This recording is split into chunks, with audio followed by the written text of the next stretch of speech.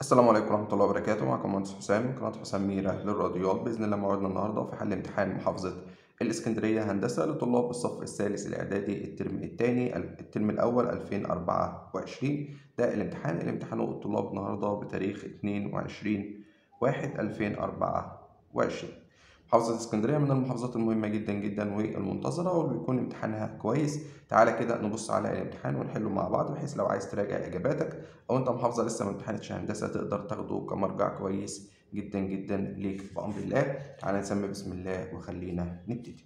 السؤال الأول بيقول أنا عايز منك طول نص قطر الدايرة التي مركزها النقطة سالب اتنين وتلاتة وبتمر بالنقطة اتنين وسالب واحد. طب ما أنا عارف إن نص القطر بيبقى عبارة عن البعد يبقى أنت تكتب قانون البعد ما بين المركز وما بين النقطة اللي بتمر بها الدايرة. يبقى جذر فرق السينات يبقى سالب اتنين ناقص اتنين لكل تربيع. زائد فرق الصادات اللي هو تلاتة ناقص ناقص واحد يبقى تلاتة زائد واحد لكل تربيع. يعني ده بالنسبة لي جذر سالب اتنين وسالب اتنين سالب أربعة تربيع بستاشر. وهنا تلاتة زائد واحد أربعة تربيع برضه بستاشر. يبقى الكلام ده هو جذر اتنين وتلاتين. خلاص؟ والاتنين دي واتنين وتلاتين اللي هي ستاشر في اتنين يبقى الإجابة أربعة جذر اتنين يعني بالنسبة لي الاختيار ب هو الصح. السؤال اللي بعده بيقول الشكل الرباعي الذي القطرين متساويان في الطول ومتعامدين. بص متساويان في الطول عندك مستطيل ومربع فالمعين لا متوازي الأضلاع لا. بس هو هنا قال لك متعامدين فهم متعامدين في المربع إنما غير متعامدين في المستطيل. يعني لو قال لي متساويين في الطول غير متعامدين أختار المستطيل. ولكن متعامدين أختار مين؟ أختار المربع. رقم ثلاثة بيقول لي أ ب ج د متوازي أضلاع. معايا متوازي أضلاع أهو. اسمه أ ب ج د. بيقول لي إن زاوية أ زائد زاوية ج ب 200 طب ما أنا عارف يا باشمهندس إن في متوازي الأضلاع كل زاويتين في وش بعض مجمو... آه متساويين. فلو 200 يبقى أكيد إن دي 100 وأكيد دي 100 حلو جدا. هو عايز مني زاوية ب طب ما أنا عارف معلومة تانية يا باشمهندس إن كل زاويتين ورا بعض ب 180 لأن ده حرف يو أهو. فلو دي 100 يبقى فاضل دي بكام؟ ب 80 يعني بالنسبة لي إن زاوية ب ب 80 اللي هو الاختيار إيه؟ الاختيار ألف. رقم أربعة بيقول لي حجم متوازي المستطيلات. الذي أبعاده جذر اتنين جذر تلاتة جذر ستة. حجم متوازي المستطيلات حاصل ضرب الأبعاد يعني هضرب جذر اتنين في جذر تلاتة في جذر ستة. جذر اتنين في جذر تلاتة بجذر ستة في جذر ستة. جذرين شبه بعض يديني اللي تحت الجذر اللي هو ستة يبقى الحجم بتاعه ستة ويبقى الاختيار د اللي هو الصح. السؤال اللي بعده يا باشمهندس بيقول لي المثلث أ ب ج قائم الزاوية في أ طالما قائم في أ فده معناه إن زاوية ب زائد زاوية ج بتسعين درجة. ولو زاوية ب وزاوية ج بتسعين يبقى جا الأولى اللي هي جا باء بيساوي جتا التانية اللي هي جتا ج. طالما زاويتين متتمتين جا الأولى بيساوي جتا التانية. فبيقول لي جا باء إلى جتا ج طب ما هما متساويين فأكيد لما أقسمهم على بعض هيديني كام؟ هيديني واحد. ليه؟ أنا ممكن أشيل جتا ج دي وأحط مكانها جا باء لأنهم متساويين يبقى جا باء على جا باء فيها الواحد. السؤال رقم ستة بيقول لي في الشكل المقابل أنا عايز منك ميل الألف ب. طيب دلوقتي ده بيعدي بنقطتين النقطة الأولى اللي هي ألف اللي هي صفر واتنين وبيعدي بالنقطة ب اللي هي على محور السينات بسالب تلاتة وصفر. طب ما هو الميل بيساوي. فرق السين الصادات يبقى اتنين ناقص صفر. على فرق السينات صفر ناقص ناقص تلاتة يبقى صفر زائد تلاتة. يبقى الميل هنا باتنين على تلاتة. يبقى الإجابة بتاعتي اتنين على التلاتة أعتقد اللي هي الإجابة دي. بص هي الأرقام مش واضحة ولكن الإجابة الصح هي اتنين على تلاتة. خلاص عشان بس إيه لو هي إيه الاختيار حاجة تانية السؤال التاني ألف بيقول بدون استخدام الآلة الحاسبة أثبت أن جا أس تلاتة تلاتين. فكده أقول له الطرف الأيمن بيساوي. جا تلاتين بنص ولكن هو بيقول لي أس تلاتة يبقى نص أس تلاتة بكام؟ بتمن. بس كده. تعال نشوف الطرف الأيسر. بيقول لي تسعة في. جتا أس تلاتة ستين. جتا ستين بنص بس الكلام ده أس تلاتة. ناقص. ظا تربيع خمسة وأربعين. ظا خمسة وأربعين بواحد ولكن تربيع. يبقى دي تسعة ونص أس تلاتة لسه قايلين بتمن. ناقص واحد تربيع بواحد. تسعة في تمن بتسعة تمانية. ناقص.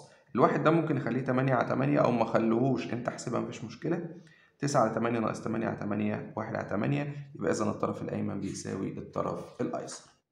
السؤال الثاني ب بيقول لي أثبت أن المثلث الذي رؤوسه الاضلاع دي أو الأرقام دي متساوي الساقين بعد كده عايز مني المساحة بتاعته.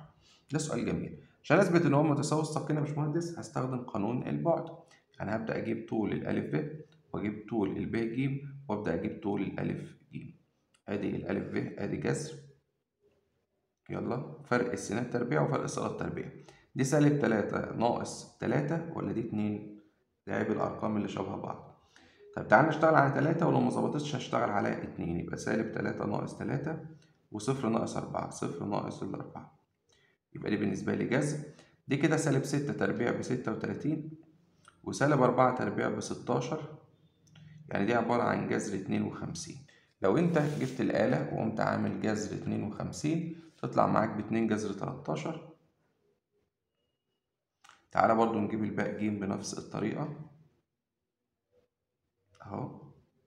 هيبقى تلاتة ناقص واحد وهنا أربعة ناقص ناقص ستة يبقى أربعة زائد الستة. أدي جذر. تلاتة ناقص واحد اتنين تربيعها بأربعة. أربعة زائد ستة عشرة تربيعها بمية يعني جذر مية وأربعة. تعالى كده نشوف جذر مية وأربعة باتنين جذر ستة وعشرين.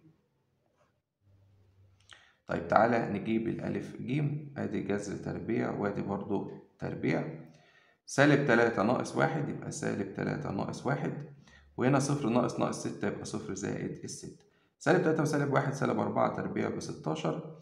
وهنا صفر زائد ستة يا باشمهندس ستة تربيع بستة وتلاتين. ده تطلع زي اللي فوق جذر اتنين وخمسين يبقى اتنين جذر تلاتاشر طب حلو جدا. ده كده بما أن الألف ب بيساوي الألف ج يبقى ده مثلث متساوي الساقين خلاص؟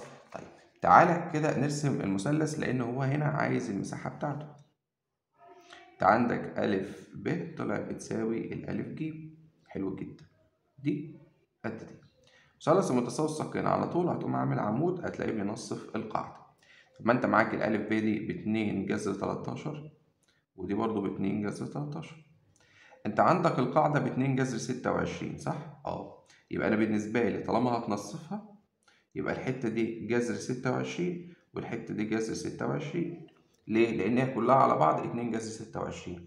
طيب دلوقتي عشان أجيب المساحة محتاج أحسب الارتفاع ده اللي هو الألف د طب أحسبه منين؟ من فيثاغورس يعني الألف د هيساوي جذر. الوتر اللي هو اتنين جذر تلاتاشر الكل تربيع. ناقص الضلع اللي هو جذر ستة وعشرين الكل تربيع. خلاص؟ تعالى نحسب كده الكلام ده. آدي يا باشمهندس جذر اتنين جذر تلاتاشر الكل تربيع ناقص جذر ستة وعشرين تربيع اللي هي ستة وعشرين. واضغط يساوي. هيطلع معايا بجذر ستة وعشرين يا باشمهندس. خلاص؟ أهو اما عملنا اتنين جذر ستاشر دي اللي هي عشان برضو تبقى في الصورة دي اللي هي جذر ستة وعشرين تربيع. فطلعت معايا بجذر ستة وعشرين يبقى الألف ده بجذر ستة وعشرين. يبقى إذا مساحة المثلث بيساوي نص.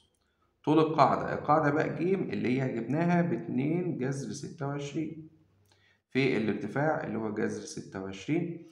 النص هيروح مع الاتنين فيفضل لي جذر ستة وعشرين في جذر ستة وعشرين بستة وعشرين هنا وحدة مساحة. وحدة مساحة. يبقى الإجابة بتاعتي ستة وعشرين يا باشمهندس. سؤال جميل جدا جدا.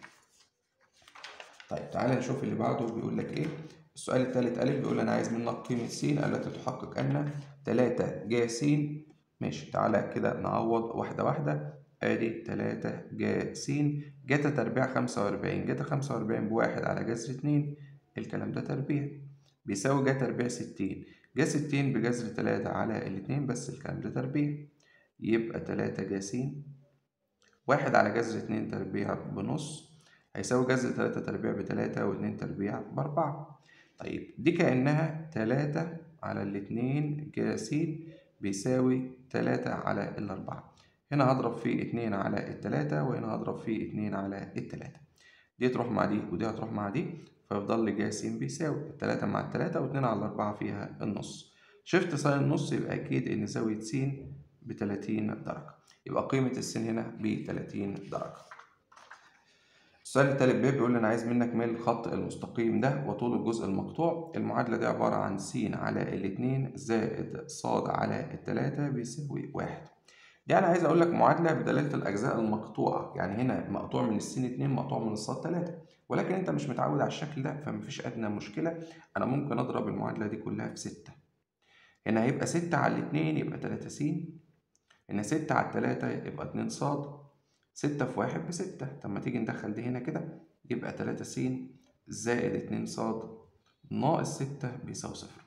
يبقى إذا بالنسبة لي الميل بيساوي سالب معامل س على معامل ص اللي قبل السين تلاتة غير إشارته يبقى سالب تلاتة على اللي قبل الصاد اللي هي اتنين. طب الجيم بيساوي القيمة المطلقة؟ الحد المطلق على معامل ص يبقى القيمة المطلقة الحد المطلق سالب ستة على معامل ص اتنين. يبقى القيمة المطلقة لسالب تلاتة اللي هي بتساوي تلاتة.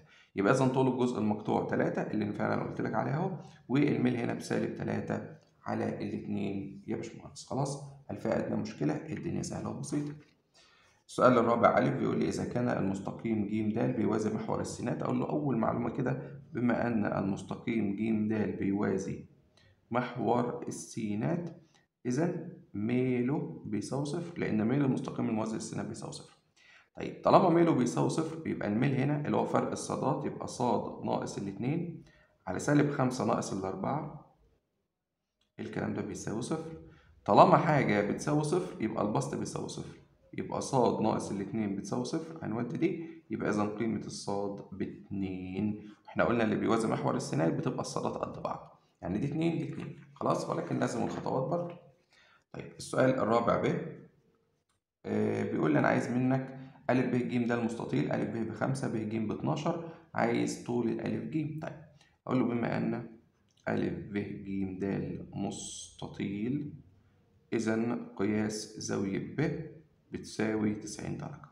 ولو زاوية ب بتسعين درجة أنا ممكن أحسب الألف ج من فيثاغورس طبعا الألف ج ده وتر يبقى جذر خمسة تربيع زائد الاتناشر تربيع تحسبها تطلع معاك بتلاتاشر سنتي. طيب بعد كده هو بيقول لي خمسة ظا زاوية ألف ج د ألف ج د اللي هي الزاوية دي. ناقص 13 زاوية د ألف ج د ألف ج اللي هي الزاوية دي. طب اللي إيه اللي جاب القلعة جنب البحر؟ ركز معايا أنت جبت الألف ج ب 13 الشكل ده عشان مستطيل لو الألف ب بخمسة يبقى الدال ج بخمسة لو الب ج ب 12 يبقى الألف د ب 12 طب ما تيجي نقول له المعلومات دي أقول له بما أن ألف ب بيساوي د ج بيساوي 5 سم وعندنا الب ج بيساوي الألف د بيساوي 12 سم نشتغل بقى وإحنا مطمنين. عايز بقى قيمة خمسة ظا أدي خمسة. في ظا زاوية ألف ج د زاوية ألف ج د الظا مقابل على مجاور يبقى 12 على خمسة. ناقص 13 في جا زاوية د ألف ج د ألف ج الجا مقابل بخمسة على الوتر بتلاتاشر يبقى خمسة على تلاتاشر هنا الخمسة هتروح مع الخمسة هيفضل اتناشر هنا التلاتاشر هتروح مع التلاتاشر يبقى ناقص خمسة اتناشر ناقص خمسة بسبعة يبقى إذا قيمة المقدار ده بكام يا باشمهندس؟ بيساوي سبعة. السؤال اللي بعد كده بيقول لي إذا كان المستقيم المر بالنقطتين دول عمودي على المستقيم ده عايز منه قيمة الألف طيب تعالى نجيب ميل الأول. هقول له كده ميل الأول. فرق الصادات صاد اتنين ناقص صاد واحد على فرق السينات سين اتنين ناقص سين واحد. اتنين ناقص ناقص تلاتة يبقى اتنين زائد التلاتة. على خمسة ناقص ستة خمسة ناقص ستة. اتنين وتلاتة خمسة. خمسة ناقص ستة سالب واحد يبقى ميله بسالب خمسة. أقول له إذا أو أقول له بما أن ميم واحد عمودي على ميم اتنين يبقى إذا ميل الثاني هشقلب وأغير الإشارة. لو دي سالب خمسة هشقلبها تبقى سالب خمس. أغير إشارتها يبقى خمس يبقى ميل التاني بخمس. أقول له ميل الثاني بيساوي. طبعا ميل التاني اللي هو خمس بيساوي. دي معادلة يبقى سالب معامل س على معامل ص. يبقى الخمس بيساوي. اللي قبل السين سالب ألف لما أغير إشارته يبقى ألف على اللي قبل الصاد اللي هو واحد. يبقى هذا ده الألف. طب أنا عايز أجيب قيمة الألف سهلة أقول له الألف بيساوي. هضرب الواحد في الواحد بواحد وأقسم على دي اللي هي خمسة يبقى قيمة الألف بكام؟ بخمس. خلاص؟ يبقى قيمة الألف ده بخمس وفعلا لما أغير إشارته وأقسم على ده هيديني يا باشمهندس القيمة اللي أنا عايزها وهنا لأن هو قال لي عمودي. لكن لو كانوا متوازيين كنت هشتغل عادي جدا إن هي سالب خمسة. يا باشمهندس تمام؟ تعال نشوف اللي بعده. السؤال الأخير الخامس ب بيقول لي أ ب ج مثلث رؤوسه النقط دي. أ ده المتوسط عايز معادلة المستقيم. المر بالنقطتين أ ود طيب ركز معايا كده. أنا هبدأ أرسم لك المثلث أهو. اسمه أ ب ج الألف ده المتوسط. بص كلمة متوسط ده معناه إن هو بينزل ينص في القاعدة. حلو جدا. طب ما أنت معاك النقطة ب بسالب اتنين وتلاتة ومعاك النقطة ج بسالب أربعة وسالب تلاتة. يبقى أنا ممكن أجيب النقطة د بسرعة. إزاي؟ إحداثي د ما هي المنتصف يبقى بالنسبة لي هجمع السينات يبقى سالب اتنين ناقص أربعة على الاتنين وهجمع الصادات يبقى تلاتة ناقص تلاتة على الاتنين سالب اتنين وسالب أربعة سالب ستة على الاتنين فالسالب تلاتة. تلاتة ناقص تلاتة صفر على الاتنين فالصفر وأنا أصلا معايا النقطة ألف يا باشمهندس بواحد واتنين. بقى معايا نقطتين فأنا ممكن أجيب ميل الألف د فرق الصادات على فرق السينات. يعني جبت النقطة دي د بكام؟ بسالب تلاتة وصفر. ففرق الصادات يبقى اتنين ناقص صفر. على فرق السينات واحد ناقص ناقص تلاتة يبقى واحد زائد التلاتة يعني اتنين واحد زائد تلاتة أربعة يبقى الكلام ده بكام؟ بنص. طيب هقول له بما أن ص بتساوي م س زائد الجيم. يعني الص بتساوي نص س زائد الجيم. طب ما أنا معايا نقطتين. تعالى ناخد النقطة اللي فيها صفر أسهل. يبقى بالنسبة لي إن سالب تلاتة وصفر إيه؟ بتحقق المعادلة. دي السين ودي الصاد. يبقى أشيل الصاد وأحط صفر. هيساوي نص في س اللي هي سالب تلاتة زائد الجيم. يبقى الصفر بيساوي سالب تلاتة على الاتنين زائد ج ود دي يبقى الجيم بتساوي تلاتة على الاتنين. يبقى المعادلة بتاعتنا ص بتساوي نص س والجيم يا باشمهندس بتلاتة على الاتنين. ممكن أضرب المعادلة كلها في اتنين يبقى اتنين ص بيساوي س زائد التلاتة. عايز تعملها كده؟ مفيش مشكلة. عايز تسيبها كده؟ دي صح ودي صح ما تقلقش من النقطة دي. للأمانة امتحان الإسكندرية امتحان متوازن يعني نقدر نقول بيقيس الطالب الفهم خلاص؟ كده يا باشمهندس وصلنا لآخر حصة النهارده. أتمنى إن أنا أكون قدرت افيدك أتمنى أكون وصلت لك المعلومة بطريقة سهلة وبسيطة. يا ريت لو استفدت تشترك في القناة وتفعل زر الجرس وتضغط like. و share الفيديو عشان يوصل لأكبر عدد ممكن من الناس. اشوفك على خير الفيديو الجاي. كان معاك مهندس حسام من قناة حسام رياضيات وشكرا جدا.